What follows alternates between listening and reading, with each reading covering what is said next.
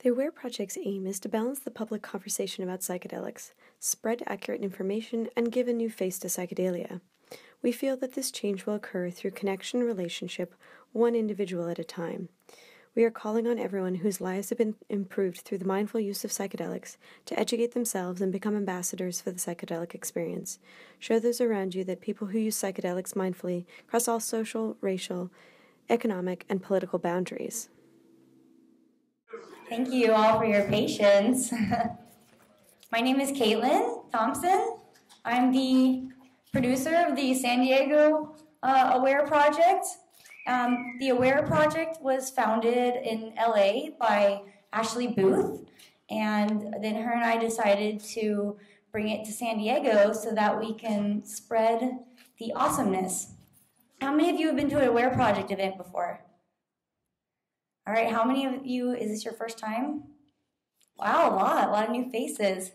Great. Well, um, just to tell you a little bit about the Aware Project, um, our goal is to provide a safe community space where people can come together and create balanced dialogue around psychedelics so that we can spread accurate information and create community and connections and help lift the stigma about these compounds so that we can investigate them thoroughly and accurately evaluate their risks and benefits in society as tools for various things.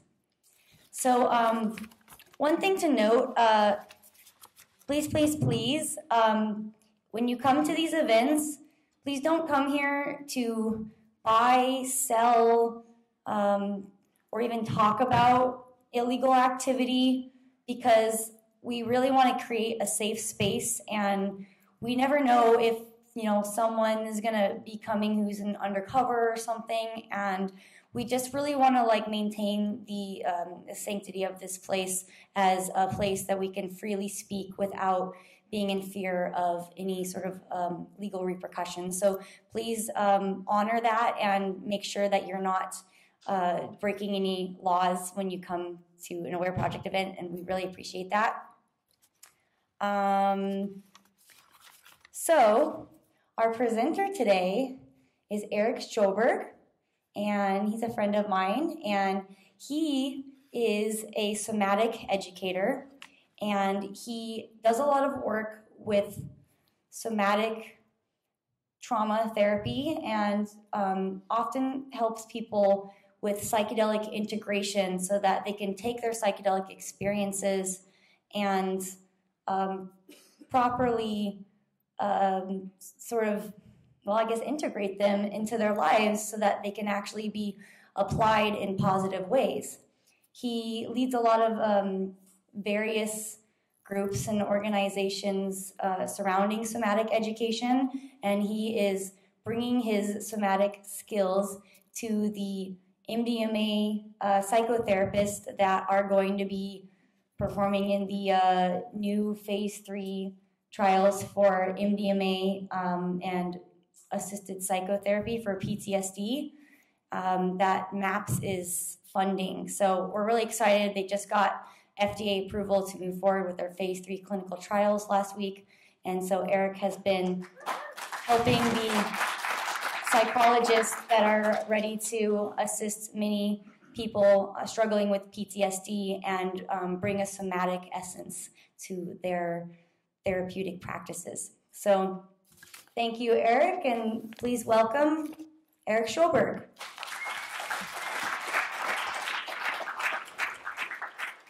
Thank you, Caitlin.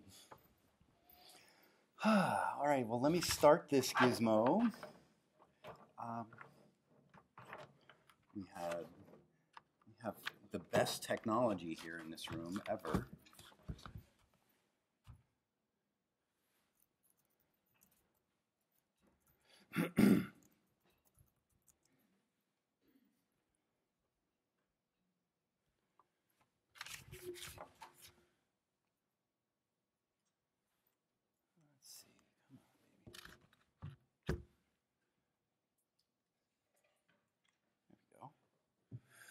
Yeah, all right.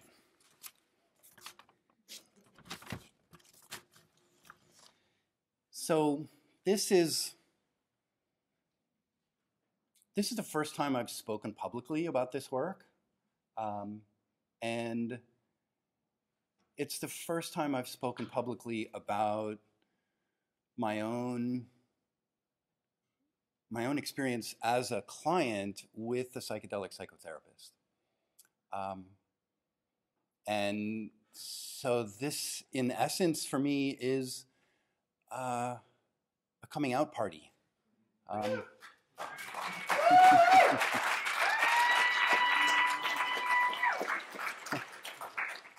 yes, many of you have known me for a while and have known this part of me, but um, I've been reticent to speak publicly about it, uh, in particular because the people that have helped me are at risk doing what they did. And, um, and that's the tides on that are changing now, and I'm glad for that. They're not done. They have a long ways to go still, but we're, we're making progress. so, yeah, let's get started. How many of you have used psychedelics recreationally with friends or at a festival? Almost the whole room. Um, how many of you have used them in plant medicine ceremonies with a shaman in ceremony? Mm-hmm. How many of you have used them with headphones and an eye mask and a sitter? Mm-hmm. A few. Beautiful. How many of you have used them in a therapeutic setting with an experienced therapist? Hmm? Yeah. How many of you have heard of soul retrieval? Wow, awesome. A lot of people. How many of you have gaps in your childhood memory? How far back do you remember? What do you do with those gaps? What do you make of that? For me, I have huge gaps in all of my childhood. I have bits and pieces, but for the most part, my childhood is not accessible. And you'll hear more about why.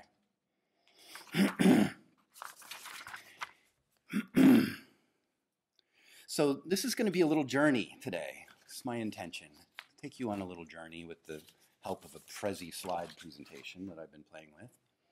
Um, and I want to do a flyover of a lot of material, a lot of different things, little different aspects of what is underneath what I see as necessary for doing soul retrieval work, for helping people become healed from places where they've fragmented.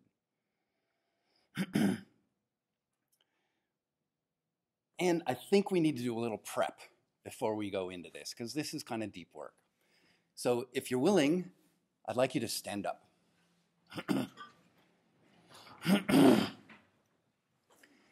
and start by inhaling and raising your arms up, filling your lungs, and then exhaling and folding over at the waist if you feel like it, or just bringing your arms down and standing up again. And take three deep breaths like this and get your body open and relaxed and get your dinner moving if you were just having pasta.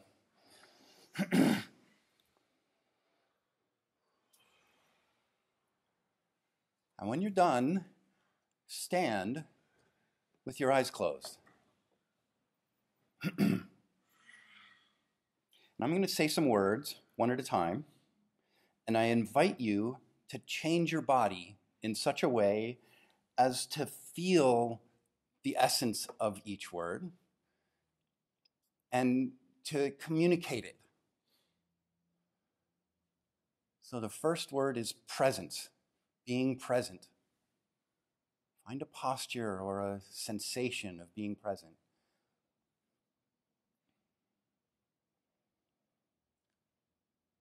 Power.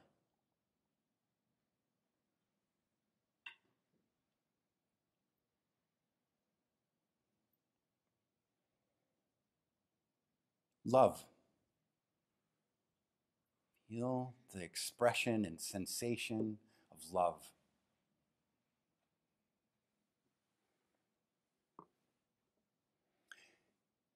Now I want you to find a partner. pair up if you're willing.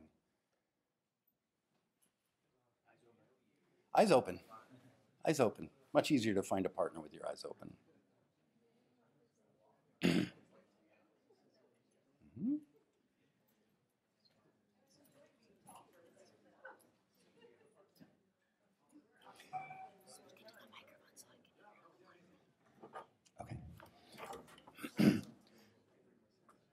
so now pick partner A and partner B.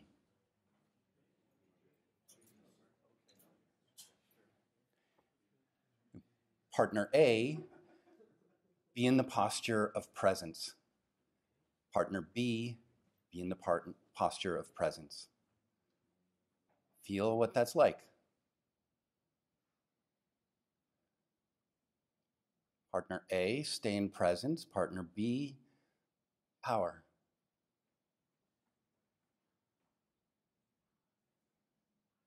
Partner B, stay in power. Partner A, love.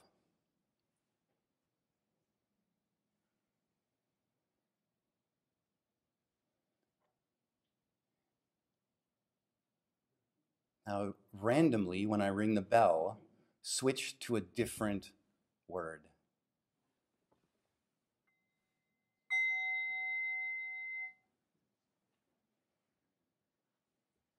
Really get dramatic with this if you can.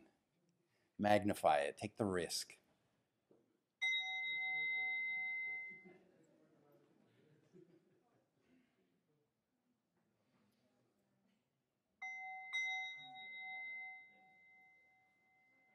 There, we got some theatrics in the room. Good.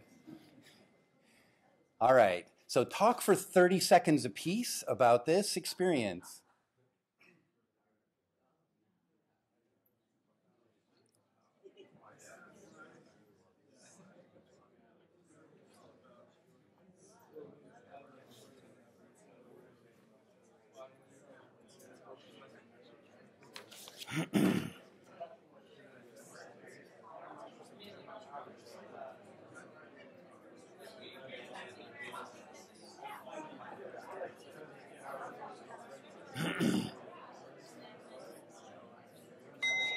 Switch if you haven't.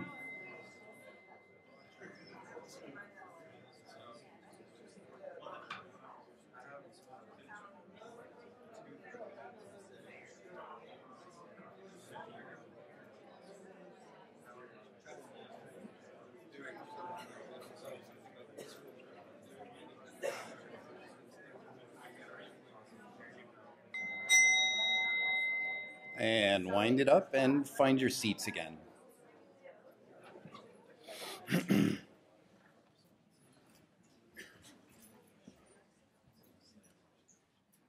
Can everybody hear me okay? Can you hear me in the back? Linda? All right. A little louder. All right. Let me see if I can make that happen.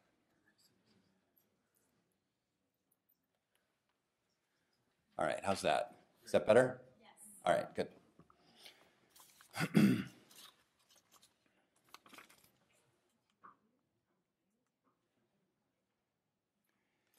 Today, I will talk a little bit about my own journey in this work. Trauma, soul fragmenting, a little about consciousness, the unconscious, how to relate to those gaps in your memory that I spoke of earlier.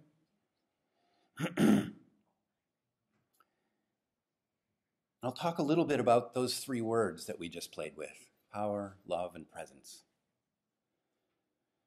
And I'm also going to talk about how they relate to trauma and to soul retrieval in the way that I'm playing with it.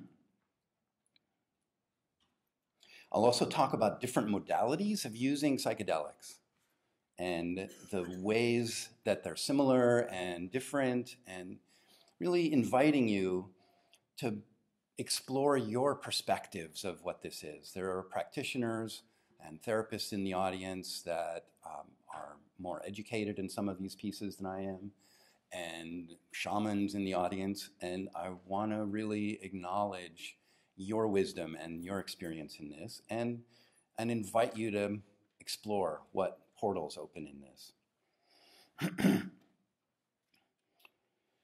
What I present is only my perspective as a trauma and somatic therapist, body worker, spiritual counselor, psychonaut, and most importantly, as a trauma survivor myself. My intention is that you walk away from this talk with a better understanding of the different modalities and a different, excuse me, um, and, and looking at different experiences through different lenses and kind of open and explore different, different forms of using psychedelics and integrating them in a way that might help your journey on the planet be more interesting and more healing and more fun.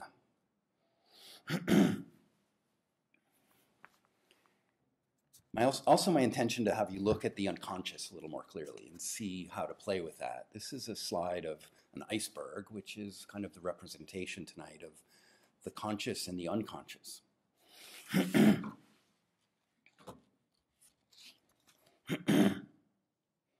Sorry, I'm getting over a cough here, so I've got a tickle in my throat. So it's also possible that you have no trauma, forgotten or otherwise, of any impact in your past, that your lack of memory in your childhood has nothing to do with trauma or soul fragmenting.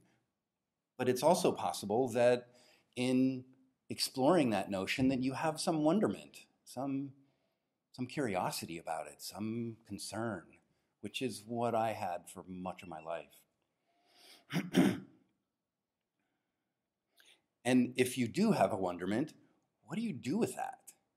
You know, if you have a if you have a sense that maybe there's some memory that you don't recall, and you you know, what do you do with that? Do you do you dig in? You just say, oh, that's good, better left untouched? I don't need to play with that. Um, so it's, it's really a question that you can feel in yourself.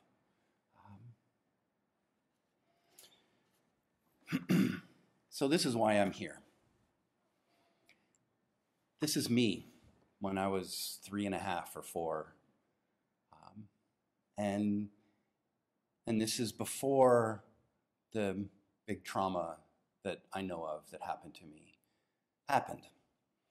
So, part of what I want to just name as far as the context of where I came from, both of my parents were trauma survivors. I was an only child, and my mother suffered from uh, child molest, violence, and um, um, what was the other thing?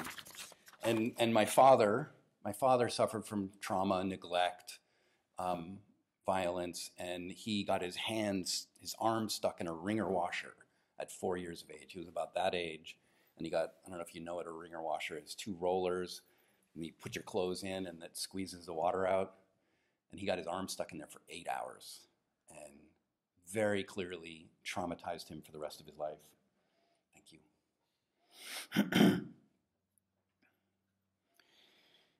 So, as near as I can tell in this picture, um,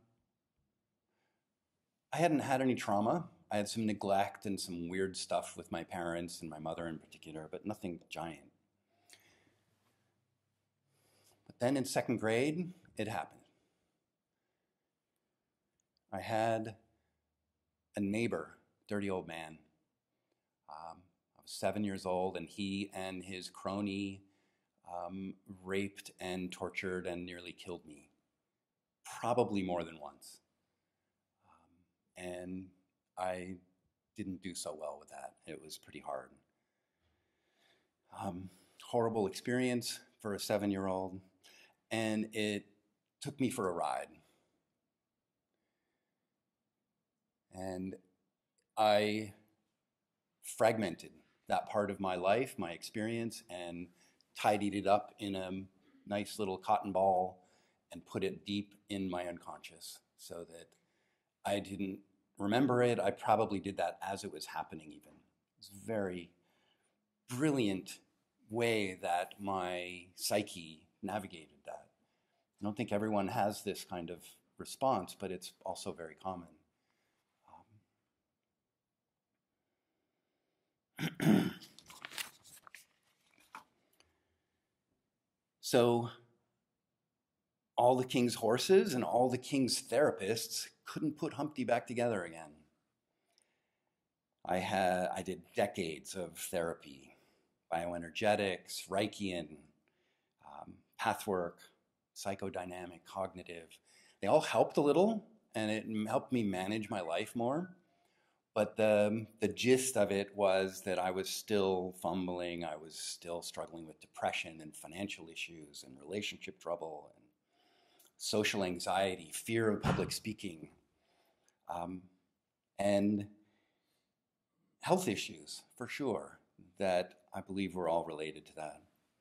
As a psychonaut, I used LSD and mushrooms and um, MDMA and a number of other medicines and got, uh, got closer in. I could feel some of what these were in me, but they were, um, it more just kind of tickled that I have something to deal with here that I couldn't quite get at. It was just there. It was you know, on the other side of something, and I was striving for it, and I wasn't quite sure I wanted to find it sometimes, and other times I did.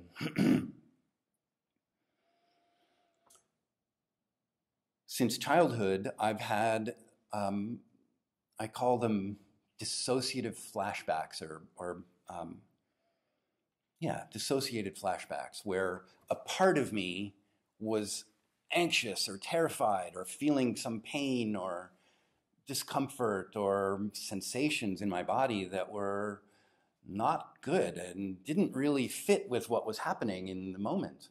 And and I didn't know what that meant.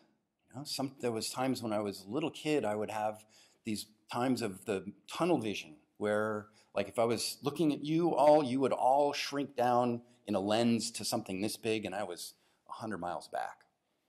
Used to have that pretty often when I was a kid. And I'm pretty sure the first time I did it was with my pervy neighbor.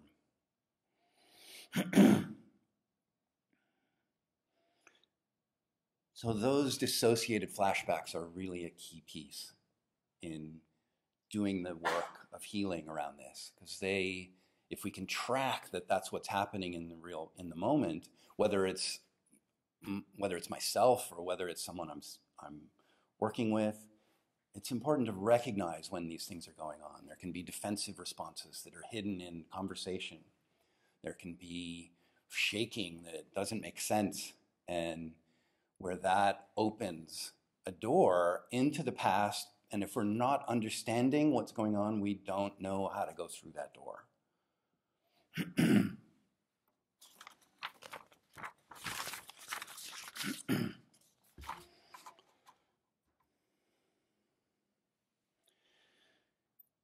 Then I did a journey with a psychedelic psychotherapist, and everything changed. That first journey felt like 30 or even 150 therapy sessions. The MDMA and LSD that I took, along with my sitter's exquisite presence and care and attention, took me into a state of consciousness where I could sit next to what I was terrified of and even as I was sitting with what I knew I was terrified of, something else I was afraid of opened up on the other side of me, and I was sitting with both of them, and I could manage it. It wasn't easy, but I could manage it. And stuff was moving in my body and in my mind and my heart, and I knew I was safe enough to be able to explore this.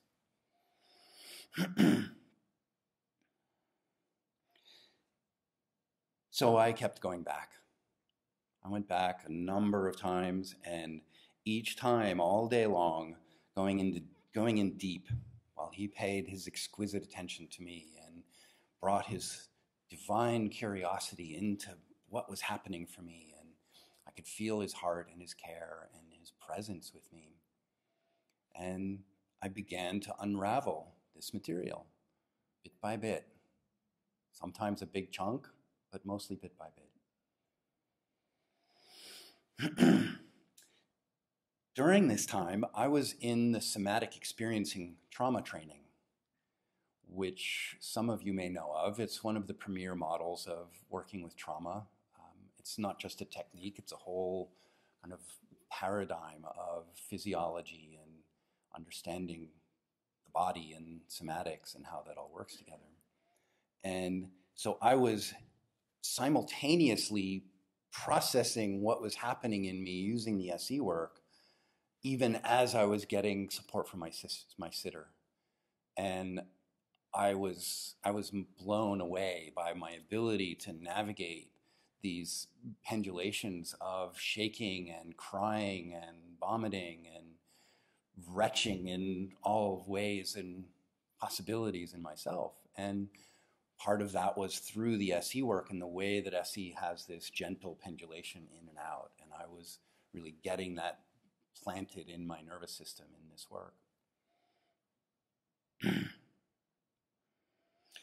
and I, this is where I recognize these dissociative flashbacks as portals into what was going on for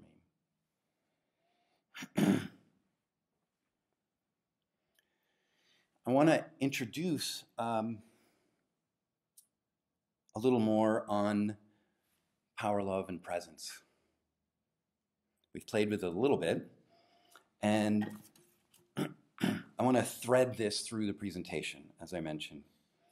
So, through both my work on myself and with clients doing somatic experiencing and other kinds of spiritual counseling, um, as well as psychedelic integration work, I began to see that we as beings have kind of three primary light bulbs in us, three primary ways of being human. And I, I, think these are the words that I've been playing with and still looking for more. I'm not settled on this being final, so if anybody has more that don't fit underneath those umbrellas, let me know. But I'm, um, I find that when we have these energies full in us, we are all that we can be. And we can experience all that we can from other people and from life. and trauma and neglect and all of these pieces diminish our ability to be present, our ability to be powerful, our ability to be loved. And so the, the work becomes in part navigating the energetics, the body, the emotion of each of these. For instance, a trauma survivor may perceive in their body, mind, and heart that power is bad. This is one of the most common things that I run into in clients is, is this notion that their own power in particular is bad because someone who had power over them hurt them with that power. And then the recognition that they have not really integrated power, love, and presence and found connection to their own power became quite clear. Power without love is reckless and abusive, and love without power is sentimental and anemic. Power at its best is love implementing the demands of justice, and justice at its best is power connecting everything that stands against love. Martin Luther King. Particularly poignant for me right now and where we are on the planet and what's happening in this country.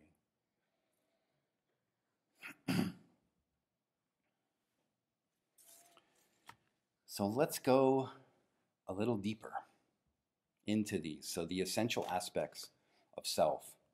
So, without presence, reality is not available. Leaving our bodies via numbness, dissociation, fantasy, substance abuse are all powerful ways to survive and cope with trauma. Coming back into presence is, an, is essential to healing it. Being here now, in this body, this moment, this place, is all we have. This presence is where reality lives. Otherwise, we're in fantasy or some kind of dissociation, and reality is not available to us if we're not present. It's essential found, found building block. Feeling and being capable, so for power, feeling and being capable of protection of ourself and others and providing for ourself and others gives us a unique value and a unique sensation of being human when we can do that. And when we can't, it's, it has its own set of problems. Love. Bonding is perhaps the most powerful force on the planet. It's, it's something to ponder. Sue Johnson, who's a attachment theory teacher created emotionally focused therapy said that, and it still rings my bell. I think it's accurate. You can look at under politics and even greed and a lot of things out there. There might be some distorted drive towards bonding that is happening underneath a lot of this stuff. so, the effects of trauma on the essential aspects of self. So, trauma, fight, flight, freeze, trauma knocks out knocks us out of ourselves, out of presence, out of power, out of love, sometimes all of them.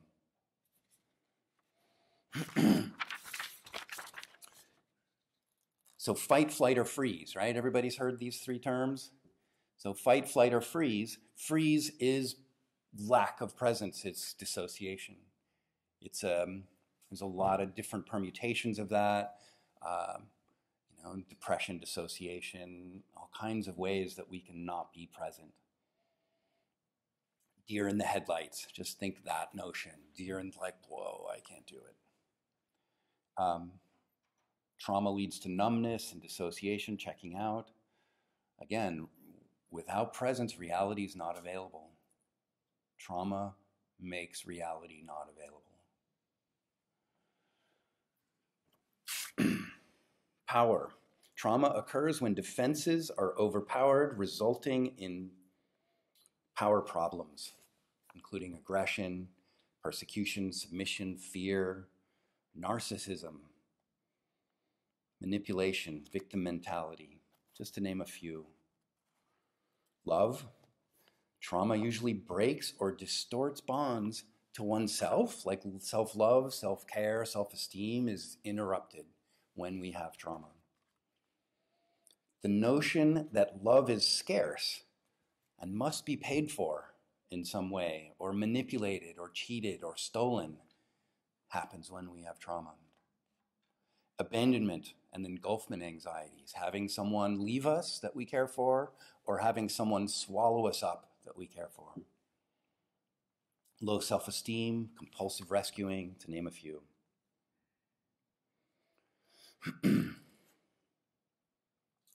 Trauma is what happens when we are knocked out of ourselves, out of our presence, power, and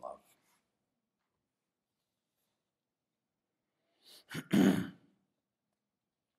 what are the types of trauma that we need to look at? There are many types. Depending on what model you're looking at, I'll present a little on two types. I think they're kind of umbrella types developmental shock trauma and shock trauma. Shock trauma happens when suddenly, when an experience that overwhelms, with an experience that overwhelms us. Developmental trauma happens slowly to children. Both can have effects that last a lifetime, either can be obvious or very hidden, or anywhere in between. Failed attachment in developmental trauma, whether caused by abuse, neglect, or emotional unavailability on the part of the caretaker, can negatively impact brain structure and function, causing developmental or relational trauma. Early life trauma affects future self esteem, social awareness, ability to learn, and physical health.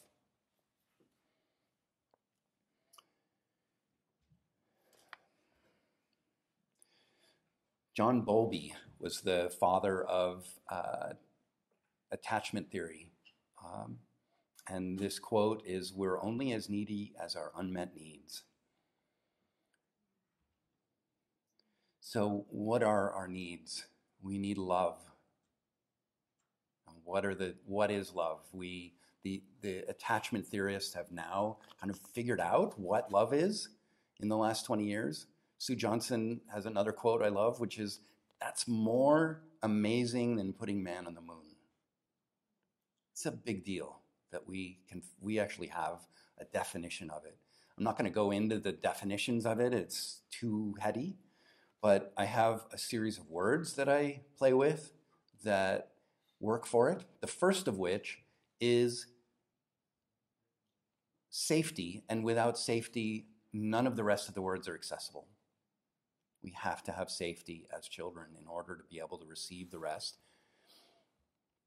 Starting with attunement. So feel into each one of these. Imagine one or both of your parents as each one of these words come up on the screen. And feel whether they did that with you when you were a kid. Not now, when you were growing up. So attunement. Affection.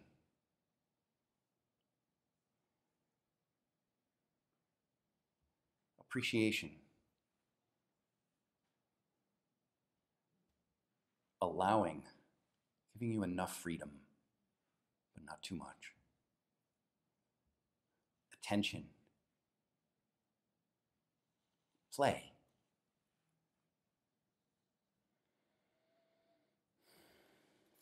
Feel into these. These are important.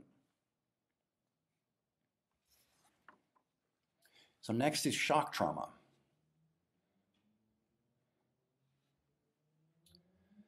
Shock trauma, which is not the same as the medical condition of shock, is created by our instincts and creates an altered state of consciousness. This is, in effect, survival. Survival mode that we go into. When we feel our life is threatened, our ability to respond is overwhelmed. Symptoms are energetic phenomenon that serve the person by providing a way to manage and bind the tremendous energy of the original threat and the subsequent response to it. So you can see the place where I did that with the experience that I had. I bound it up and dissociated it and put it away. That was shock. family systems are a big piece of it. How many of you came from a family that looked like this? It was happy all got a few. It's good. How many were more like this? A little more drama, a little more pain.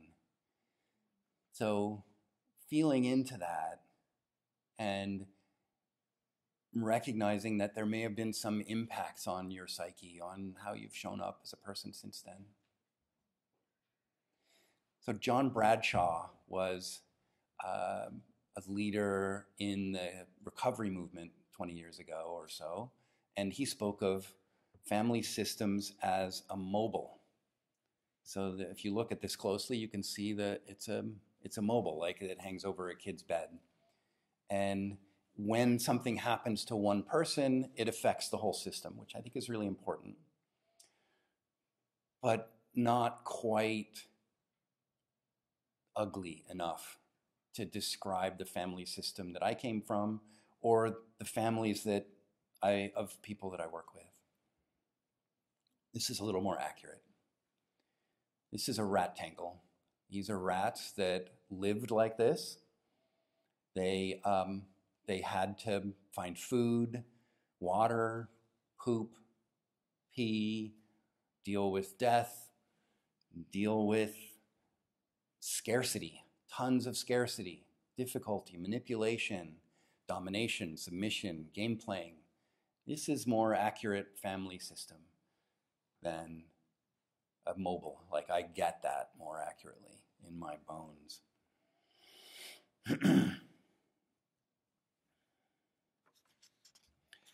All right, so how's everybody doing? This is intense. That last slide in particular was kind of a gnarly one. Do you want a little movement break here, or do you want to keep going? Keep going. All right, I'm going to keep going. Find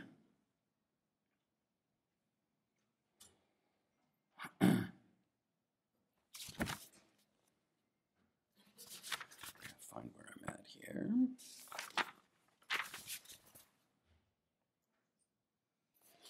All right.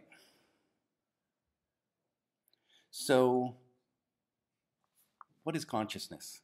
We have more conscious, less conscious. We have the presence, power, and love that I've been speaking of in the more conscious and how that shows up. We have dissociation, fragmenting, numbness, repression of memories, emotions, soul loss. We have beauty, love, community, play, creativity. We have lots of things that are in our consciousness pain, fear, anger, relationship struggles, conflict.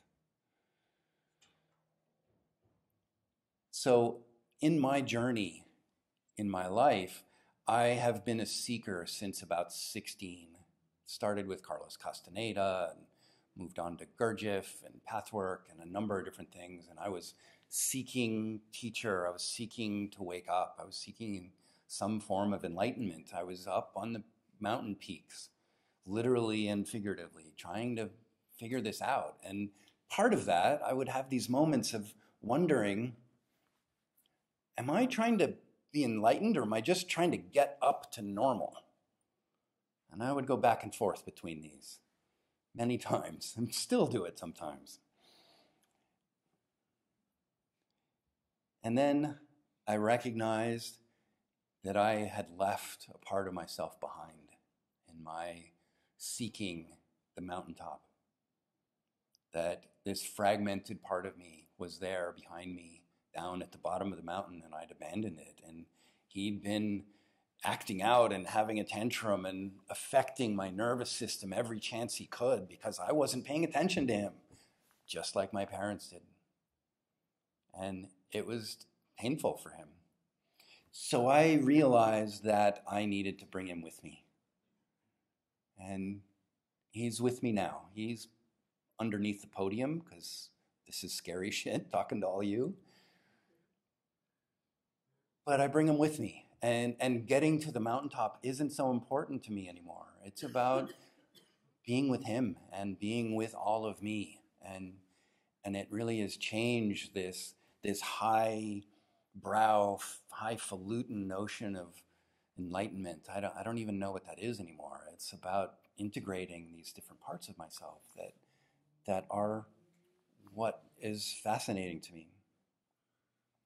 So, how do we heal our traumas and our troubles? Move more deeply into our unconscious. Self help books, therapy, support groups, religion, Oprah. And then we have what we're here today to talk about is the psychedelic therapy modalities. And first, before we go into that, I want to talk a little bit about spiritual bypass. How many of you don't know what spiritual bypass is? Oh, all right. I'm um, I'm I'm a little bit of a I've been I'm less so now, but I've been a bit of a spiritual bypass Nazi, like really touting and wanting to proselytize about spiritual bypass and and it is important in this kind of work in particular. So spiritual bypass is the use of spiritual practices or beliefs to avoid dealing with painful feelings unresolved wounds, and developmental needs. And it's so pervasive that it goes largely unnoticed. It's a quote from Robert Augustus Masters, who wrote a fantastic book called Spiritual Bypassing. And until I read that book, I'd been teaching about spiritual bypass. And then when I read the book, I realized that I had been teaching about spiritual bypassing while doing it and wept throughout that book recognizing how how silly and arrogant I'd been, and I continue to try and check myself and find where that is. But there's other kinds of bypassing. You really can use almost anything for spirit for bypassing. You have addictions, work, sex, love, drama, intensity. Intensity is a big one for me. It's part of what has me up here doing this. Is my intensity addiction, and if I'm in the mode of intensity, I'm successfully avoiding being, which is really where that experience of connection with my little one happens, with any one of you. If I'm in my intensity, I'm blocked from it. So that's an ongoing piece of work for me is navigating the intensity. The other one that I struggled with is cognitive bypass. I'm a thinker. You probably can, hadn't noticed, but I'm a thinker. This is part of what I do. So, the other thing I want to talk about before we go into the modalities is set and setting. So, we have the preparation of the individual as set, the personality. You know, the person that is doing the medicine, whether it's you or someone that you're with, what's happening in their personality? What's their tendency? Are they obsessive? Are they like really mushy and and and um, tactile? Are they often angry? Are they really scattered? What what is the what is that? Take it in.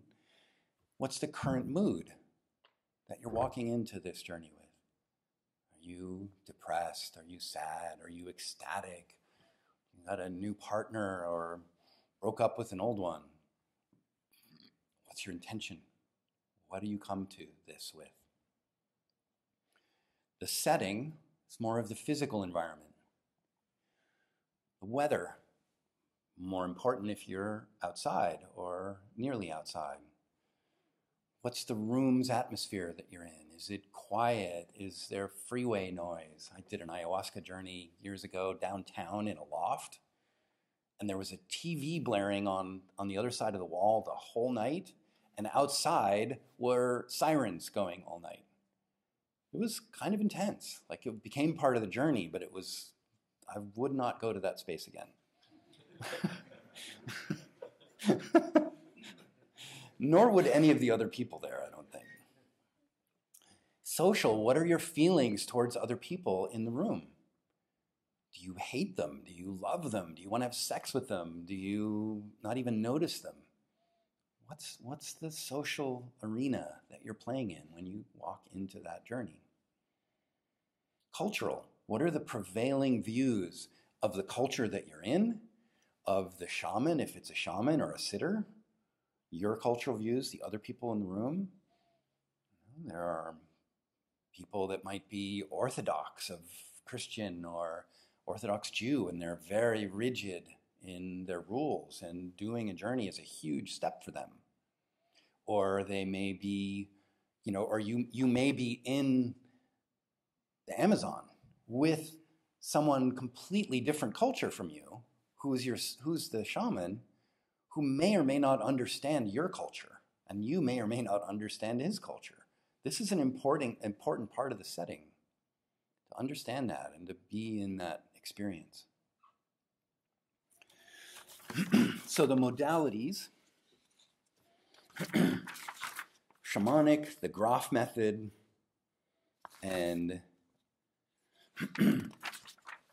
and the psychotherapeutic. I love this picture of the psychotherapeutic. Can everybody see the, the face of the of the therapist there? That's Freud.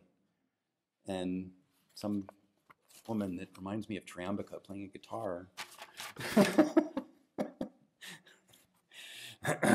so each modality has features, strengths, and challenges. Discover for yourself what they are as best as you can. I'm going to offer some ideas and notions here intended to spark and deepen your curiosity. But these are powerful medicines, extraordinarily powerful medicines. They can, they can bring you to your knees and they can crumple you like a leaf.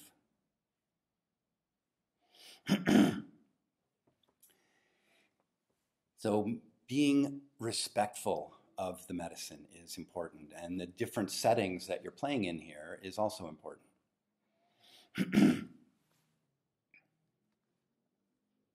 so, yeah, oh, the other piece in here is these medicines can take you and introduce you to God, and they can take you and show you where you are God. And different, different set, different modalities are going to be more or less prone to do that for you. So, in general, shamanism brings the transpersonal forth, and from there, the personal is affected. The Grof method can facilitate the transpersonal, but I believe it's deeply personal, as there is little or no outside stimulation. The psychotherapeutic brings both of these, as well as, the, as our understandings of trauma, bonding, and the modern science of psychology. For example, Michael and Annie Mithoefer, who are lead investigators in the MDMA trials, uh, PTSD study, use a combination of the Grof method and um, the psychotherapeutic. Understanding the physiology of trauma and family systems and attachment, which is what we've been looking at, are all fundamental to soul retrieval. To be transparent, it is my opinion that the psychotherapeutic model is most supportive for soul retrieval, not necessarily for everything that we might want to do. Um, and I'll touch in on that a little bit. So, the shamanic, um, just to name a little story, I my first ayahuasca journey in 1992, I think, I became a rock. I had the consciousness of a rock, and the shaman came and sat with me and was talking to me, and I couldn't understand what he said. I couldn't, I couldn't relate. I was stoned in a way that I'd never been before or since.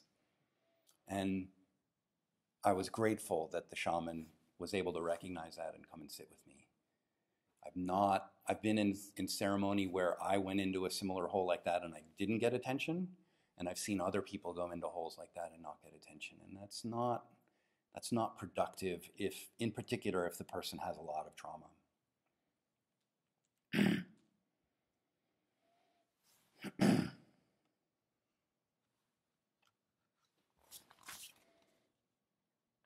so let's see, how are we on time, Caitlin?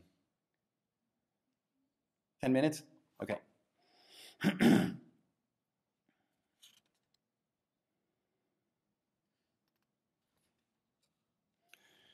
so, in presence with, um, with the shamanic model, um, there's a tremendous access to transpersonal presence, to feeling the presence of spirit or God or the medicine itself, the grandmother ayahuasca or the toad or whatever it is. You can sometimes really feel this transpersonal presence that is profound. Um, and shamans have been doing this work for millennia. And between the plants, the study of plants in general, not just psychedelic plants, but plants in general, Western medicine have been following on the tails of shamans. So we have to really respect and honor those practices as being very wise. And it's important to recognize that there are limitations in many ways to each of these modalities. There's no one perfect piece. Um, but we need to get off of our high horses and really listen to these shamanic practices and the shamans. And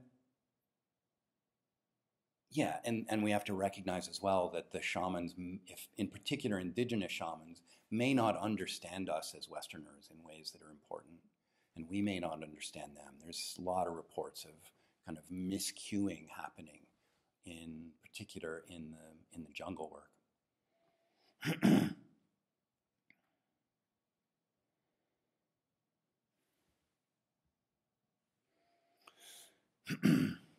so access to the mystery, huge. Love that about the shamanic work. The ceremony, the setting, everything really opens that piece up, and there's a lot that can happen in it.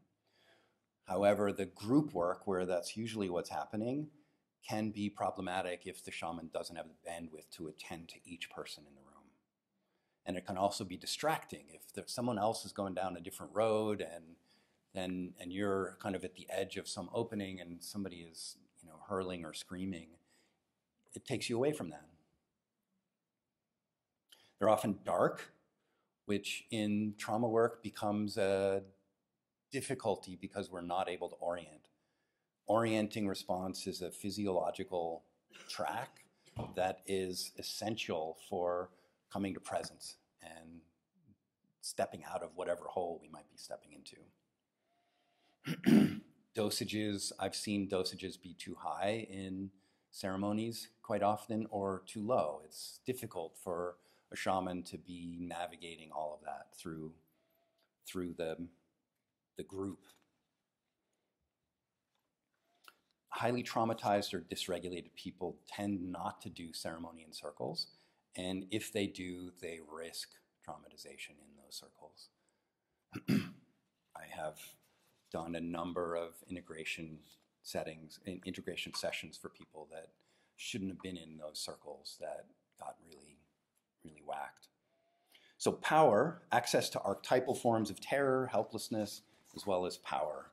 Navigation of these largely at the hands of the plant spirit or the shaman.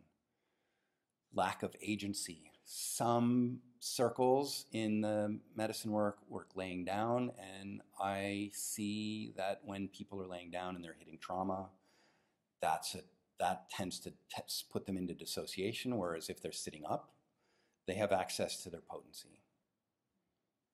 Love, transpersonal love, God experiences. I've talked about that already. How many have done Toad in here? Yeah. Um, very powerful God experience, love experience possible with that medicine. So the Grof method, I'm going to try and speed it up here so that we can get done. So there's a tendency for dissociation due to the lack of orientation and laying down. Some tolerating of sensation is, um, is blocked isolation can be helpful to become more self-focused. So the having your your ears in the headphones of the music and your eyes, you can go, you can drop in really well in that, um, but it has a it has a difficulty. And I'm uh, in preparation for this talk. I talked to a number of sitters that um, that agree with me to a degree, um, or or totally agree with me on that.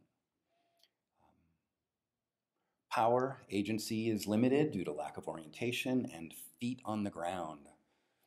Capacity to move, fight, or flight. I mentioned that already. The, there's a deeply intrapersonal. People really go inside with the headphones and, and sound, um, and they can access some really transpersonal, internal healing experiences with love. They can access the inner healer.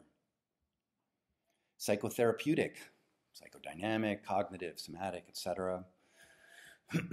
Relational work happens between therapist and, um, and client. Uh, resolution and tracking of numbness and dissociation. Individual dose refinement minimizes dissociation from meds. Sitter can empower, sitter can customize focus and activities to increase power or to release repressed power and cultivate healthy power if stuck. Tennis racket. If you've got a one-on-one, that was part of what really helped me was getting the tennis racket out and beating the living shit out of something. Hard to do that in when you've got, you know, um, eye mask and headphones on, or if you're in a room with a bunch of other people, they tend to frown on that. Love, opening to self-love and to blocks of interpersonal love available in the exquisite container with the sitter. So some of what happens in the psychotherapeutic model I've already mentioned in my in the beginning piece of my own story. Oh. So the next piece is integration. So let me find what I wrote about that on here. There's a So using a psychedelic integration therapist is a great way to access good support when you can't get to a MAPS study. There's a MAPS study that's happening right now and there's going to be a massive list for it and the open access may happen and people that aren't in the study can still get sitting in a couple years, theoretically. But if you don't have access to that kind of thing, what do you do? And how do you play with, with um, therapist. You can work with somebody legally without doing the medicine with them. You can, um, you know, prep with them and do after work with them, but it's uh, it's tricky. It's tricky, and you know, the the playing with that um, is important. You know, you want to be taking care of yourself in doing this.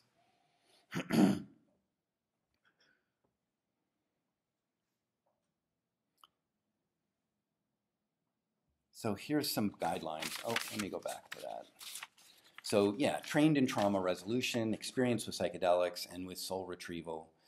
But most important, somebody you feel safe with. A friend of mine told me the other day that um, the studies that they've done about this stuff is that if there's rapport between the client and the therapist, this is just regular psychotherapy, if there's rapport, the likelihood of success is huge, even if the therapist is not doing that much just the rapport can make a lot happen. It's a very important piece. So pay attention to that. So this is the the gist of it here. This is the broad scope of the journey that we just took, um, and this is the the pitch piece of it, which is only a second or two long here. I have um, offer I've got a phone number on here. If you want to um, apply for a free session, you can text your first and last name, no space or no comma, no nothing. Just text it to that, and um, and then you'll get a keyword requested for a keyword, and then you put session in there. Um, the other is um, I lead a men's group for introverts. It's a small, intimate. Uh, we max out at six, and we meet once a week for eight week cycles. Typically, also have a one day workshop and it's been really fun and really powerful. A couple of guys from the group are here, and it's um, it's good stuff. So you know you can check it out on that on that site there. Um, so that's it. I want to thank you for sitting and listening to me for I guess it's been an hour or something. Um, and I want to thank Caitlin and the Aware Project, and um, and also Kanan um, for hooking us up with this space, with consciousness hacking. Is another meetup group that anyone involved in this would be fascinated, I believe, to join some of Kanan's group, Kanan's meetings with kind of bringing technology and consciousness together. It's good stuff. So I have a few minutes for some questions. Uh, go ahead.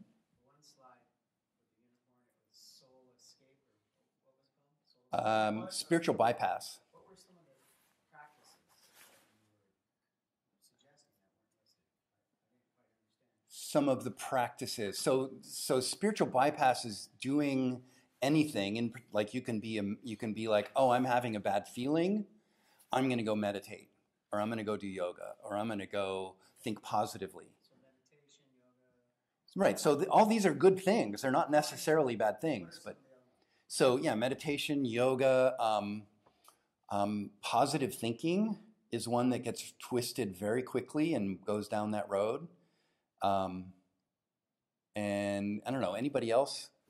Well, I just think of sometimes people flee to ashrams or other places so they don't have to Right. know, deal with the viscera of real relationship and Right. grit of work. And I mean, that can be very healing as well. I think a lot of people are escaping to a simpler, in a way, less intimate life Mhm. sometimes. Right. Right. No, that's that's accurate. I feel compelled to share my observation that many people who do ayahuasca and LSD, whatever it is, that practice I think is um, avoidance as well. Y- You're naming they're- something. They say they're directing toward Right. goal, but they're not. No, I've I've spoken with a number of therapists, uh, especially in the MAPS community, which are more research based and fact based and all of that, that are experienced with spiritual bypass, and there is a concern that the that the growing popularity of ayahuasca in particular is um, fostering a level of spiritual bypass and spiritual pride that is very difficult for people that are in it to catch because the they're already at they're working at an edge all the time and they're stretching and they're used to being rebels and they're used to being you know not accepted on some level for what they're doing. And they've normalized the confrontation around spiritual bypassing to the point where they're denying it. And I don't know what to do with that other than say something every once in a while.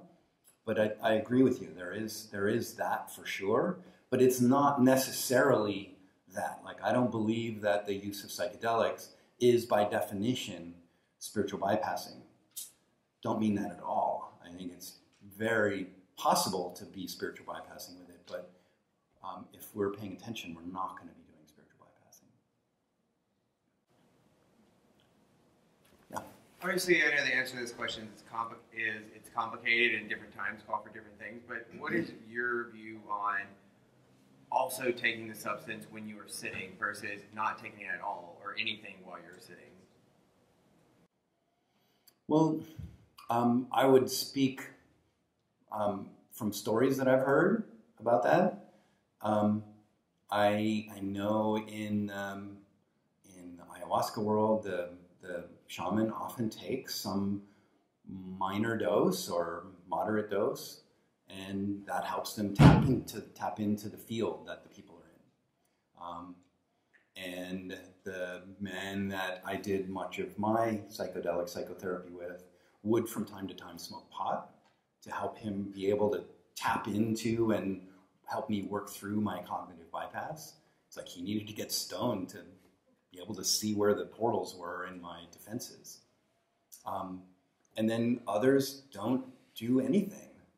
So I, I don't know as if there's a right or wrong way, way to play with it. I would be suspect of a sitter or shaman taking a full dose and getting really lost in some way with what they're doing. Um, and I have heard of that, and I've heard of ayahuasca shamans that were alcoholics, both below, both in South America and up here. And so uh, there's no guarantee of anything in this world. Um, it, I feel like there's probably a lot of people, a lot of the population who most benefit from this kind of uh, uh, treatment. Um, they're currently on uh, more mainstream prescription drugs like Effexor, Lamictal, which they say you know it's like you're not supposed to take uh, or anything while on that. Mhm. Now, would you have any recommendations for those people, and perhaps you have an opinion in general with regard to big pharma prescription drugs? Yeah, well, I, I can I'll, I'll answer that through what I've understood has been the kind of party line and the protocol out of the MAPS phase three study, which is um, there are a number of medications that are um, that don't work well with MDMA, and the, the patient needs to wean off of them. And I believe the the number is five half lives. So there's a anybody know what I'm talking about here? That's the so that you need like each medication has a different half life, and so you need to be done not taking any for five half lives, which for some things might be a few days, and other things might be weeks.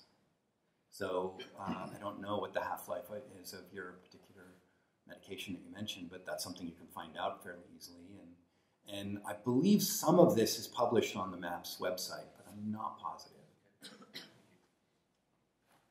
Have you heard of any of these psychedelics being used to increase intelligence? Definitely. Um, anybody know where I'm going here? Steve Jobs. Steve Jobs. Steve Jobs used LSD extensively and and said that it's part of what what helped him. So there's um, Kanan, what's the term for using medica- medication for neurotropics? Neurotropics, Nootropics, yeah, nootropics. So there are certainly people using microdosing of um, various meds, all of them that I've heard of now, to have different intelligence shifts. What was that? Half of Silicon Valley. I still couldn't hear you. Half of Silicon Valley. Right, exactly. exactly. Go ahead. Oh, uh, for the Grof method, I don't know if you said it and I missed it, but uh, are the headphones supposed to be creating silence or like a customized sound? Music, typically. There's music. Okay, yeah, I couldn't tell. I didn't see Yeah. words coming out of the graphic. Right. So I'm like, Right. is it supposed to be like entirely self-generated? Or Yeah. Something that relaxes you? Shpongle, or yeah, there's so so one of the one of the reasons that I'm a little challenged by that is that when I've been on medicine myself, music will take me down roads that I may or may not want to go. And so there is an input. You know, it's like if you're not picking who it is that you're journeying with, or if you're picking, you're being very choosy about who you're journeying with, but you're not being choosy about the music, I would invite you to take a look at that. Because you're probably going to be more affected by the music if you're wearing headphones and, I and guess, eye mask. I guess a follow up question is Have you heard various, like, I don't know if there would be something so far as stats, but at least anecdotal evidence on the efficacy with music versus, like, without? Because, like, without to me intuitively feels like it would be more intense, but like you said, like, the music feels like it has a sort of, like, inbred momentum to the direction of your trip that, you know, might, you know, put you on a different vector than, like, where your, you know, needs are. Right, right. Well, for, so for instance, um, my sitter kind of sensed that I was like sitting on a big boatload of anger, and he put on some music and nodded to the tennis racket, and I went down that rabbit hole, and you know, it was like Angerfist or some crazy, you know, really heavy duty metal. And it helps. Like it is super helpful when you've got the right music to fit where you are. It is music is in, it's like almost more important than the medicine. But if it's not the right fit, it's it can be a problem. Or it can be not the right fit because you're really resistant. So it's you know it's hard to you gotta you gotta have somebody there with you that can sense what what it is and be like yeah I know you hate this but we're gonna keep listening. So, after all this, what personally have you gotten in terms of your presence or uh, integration of yourself? Um, some some key things you talked about taking. Yeah, no, that's a that's a great question, and um, like I said, I, this is a flyover on a million things, and that was one of the ones that I thought of to bring in. But the the way that I talk about it now is the the rectangle is a tool, a symbol that I use, and many of you in the audience that I've worked with know this, and and have integrated it into your own speak on some level, and and the question becomes, well, what is my life like when I'm not caught in the paradigm of the rectangle? What is it without that? And initially, without it, there's this emptiness, which, which really triggered me at first. And, and then as I hung out with it more, it, I realized that it was benevolent emptiness. And, and I now have access to that more than I ever have. Go there when I, when I need to, or I might need to go sit in a flotation tank for a couple hours to get to it, but I know what I'm aiming for. And, and I, I can access it. I have a beautiful garden that I sit in, or you know, friends that I sit with, or just being walking down the street or in nature. I can feel that. And I couldn't. I couldn't 20 years ago, 10 years ago even. Yeah. So along the lines of a soul retrieval, it kind of speaks to um, uh, the ability of measuring whether or not spiritual bypass or you're seeing some some uh, results, like you're talking about you and results. So when you um, when you take a psychedelic, whether it be in therapy or in a natural setting, and then you're seeing some uh, quality of life improvement. So in your therapies, are there is there a beginning uh, intention set, and then are there measures and marks that show? Because when you deal with some some somatic healing, I'm assuming that it, it isn't all cognitive, right? So that there's going to be Right. some level of, level of anxiety you're able to measure. So how one do you do that, and how do you define like retrieval? So at what point? Because there's a lot of different ways you can define soul retrieval. So. Sure, sure. And and this is a three-hour conversation, but um, I guess more in the lines of like specifically the, the application of the medicine in a therapeutic environment. You can sit with somebody and talk through that, but then Right. is the measure? So we know we're not doing a spiritual bypass. Right. Well, so I, I didn't. I, I have another chart that some of you have seen that um, plays with power, love, and presence in a in a different way, where there are power, love, and presence are the are the rows, and then the columns are trauma, duality, personal, interpersonal, and omnipersonal.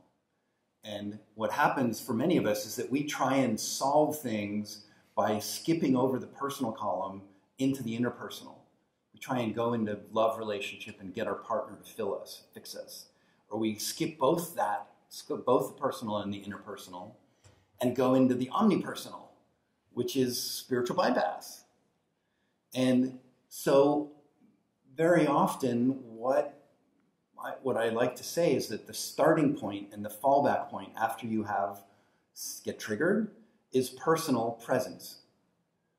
So the start, like when people are really dysregulated, that's the starting point. We don't need to work on 19 million things. We don't need to work on the relationship. We don't need to work on, you know, their relationship to God. It's about just being able to tolerate the sensation of being here now without the music in between breaths. And that's a marker. People come to me sometimes and they can't come anywhere near that. And they might want to work on 19 different things, and we might do that, but I keep I'll keep coming back and educating them and pointing them out that, you know, maybe you might want to go to the flotation tank rather than go to the bar and, and cultivate that presence. So that in that respect, there, there are markers, and that map of working with power, love, and presence is effective whether you're dealing with medicine or not. Does that answer your question? It does, and I guess what I was leading to more was kind of a statement in being working in the same field is that if you're using the medicines and you teach them or you find that they have a greater capacity to pause when agitated, and then to mm-hmm. utilize whatever it is that you're giving, whatever plan that they, they have, and that's why I'm like a firm believer, like you're not taking a lot of input when you do medicines. Nature is probably one of the better ones. And then that safety and security, because you're not safe, if you don't feel secure, you can't allow things to come up. You're constantly on edge. Right. So those are some really powerful points that you hit on that, like if they're not present, who cares if you're a good therapist? Right. And the music is this major Exactly. Yeah, I agree. Exactly. Yeah, thank you. One more.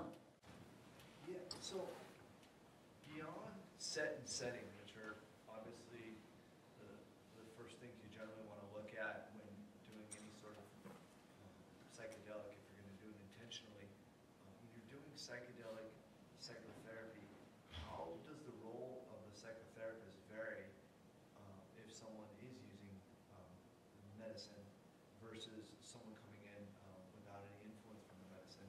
So you talked about um, some different styles of therapy, and, um, and some of which I'm familiar with, but I'm wondering if the application varies much when the medicine is there, or it's really application. Right. uh, some sort of catalyst. Well, it, that's a great question, Jake, and I, and the answer would be for me in the. You remember I I spoke of the my my journeys with my psychedelic psychotherapist, where I was learning somatic experiencing work and doing that work on myself while I was on these medicines, and teaching my sitter about SE work and playing in that. And and what I've found is that over the last whatever 12 years that I've been an SE th- therapist, that that model of working with the involuntary, with the body responses, with the physiology, with tracking, with the pendulation into the intensity and the activation and the deactivation and resourcing, that can happen and really needs to happen before you take the medicines. Learning that skill on an on your own and being able to like navigate that. You know, the the part of the SE model is that you don't do cathartic process. Well, what is doing a bunch of drugs but a cathartic process? Like it is very contrary to this fundamental premise in the SE work. And yet, what I've found is that navigating the, the activation cycle and the deactivation cycle and having the person know how to do that before they ever take the drugs can make it so that they don't get into overwhelm, they don't get into catharsis. They can have these very nicely woven activation, discharge, deactivation, resource and do that a number of times on a particular journey. So the, the shorter answer to your question is that it's possible to do a ton of trauma healing just with somatic experiencing and, the, and that kind of work and not do any psychedelics. But in particular, I think for soul retrieval and some of the more deeply embedded traumas, you need a big old crowbar. And these are crowbars. Fabian talked last at the Aware Project about his microdosing. Uh-huh. About how, you know, if you do microdosing but you don't have the experience, well, how does that help you deal with your trauma? And it kind of goes to the somatic experiencing, which is it's not actually going through a cathartic process. Because it's a psychedelic and it's permeating the blood-brain barrier, that fire is not as uh, rigid, and therefore you can put in place some alternative structure.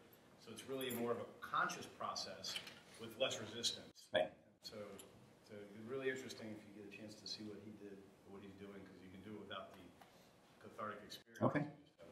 Okay, thank you. Are we good? Yes. All right.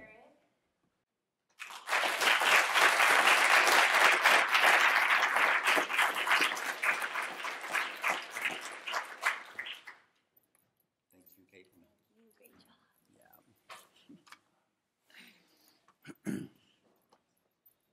All right. So um, after we have our talks, we like to do something that's a little creative and artistic to kind of um, counterbalance the heaviness of some of the topics that we go over sometimes. So we have Melinda. She's going to come up here and do um, a brief poetry reading for us.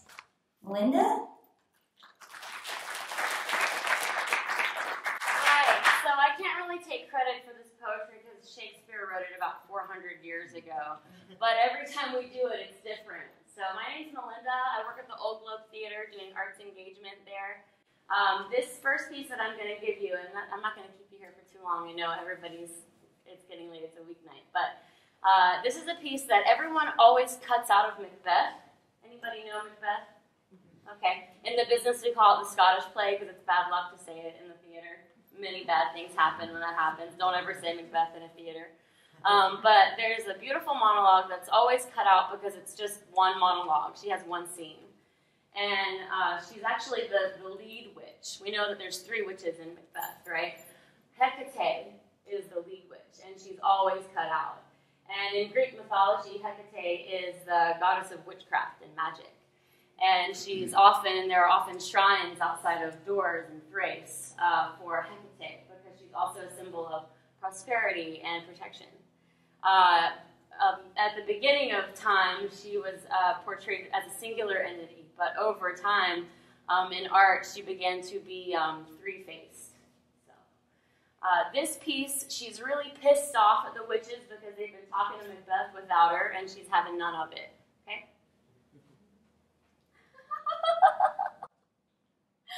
oh, how do you dare to trade and traffic with Macbeth and riddles and death?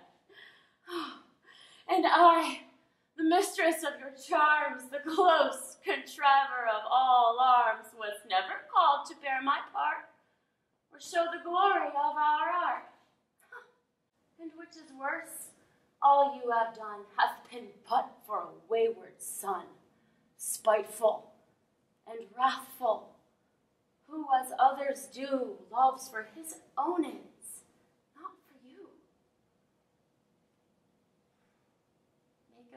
Now, get you gone, and at the pit of Acheron meet me in the morning. Thither he shall come to know his destiny. Your vessels and your spells provide, your charms and everything beside. I am for the air, and this night I'll spend unto a dismal and a fatal. Great business must be wrought ere noon. Upon the corner of the moon there hangs a vaporous drop profound, and I'll catch it ere it come to ground, and that Ooh, that, distilled by magic sleights, shall rise such artificial sprites. Oh, and by the strength of their illusion shall draw him on to his confusion. He shall spurn fate, ah, scorn death, bear his hopes above wisdom, grace, and fear. And you all know security is a mortal's chiefest enemy. Come, let us make haste.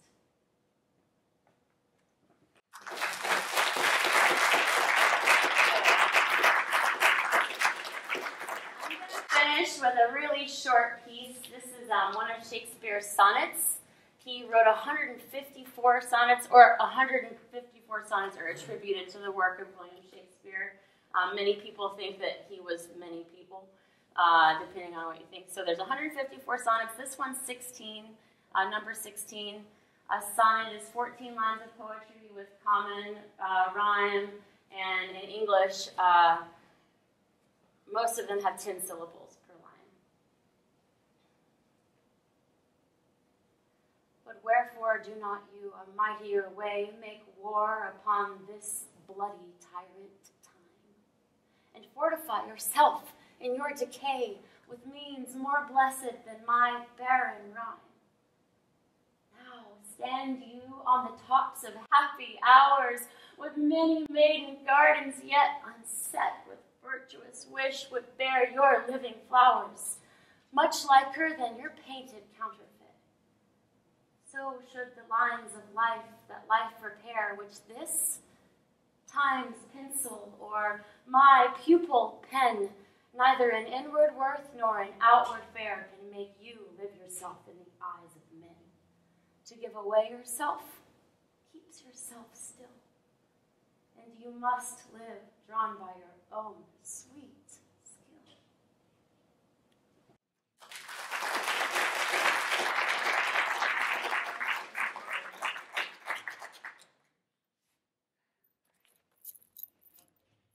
Right, guys, a um, couple quick announcements. First of all, thank you for coming. So great to have you all. Thank you, Eric. And thank you, Melinda, for that lovely Shakespeare. So um, I also want to thank uh, Travis for videotaping this. And our volunteers, Mario, please stand up. And Jake in the back. um, and before you guys go, um, we have this area until 10 p.m., so we have a few more minutes. And I really want to encourage you to introduce yourself to someone you don't know because these events really um, are about connecting community and um, creating a strong sense of interconnection so that we can really um, create an environment that we can develop um, applications uh, for these substances appropriately.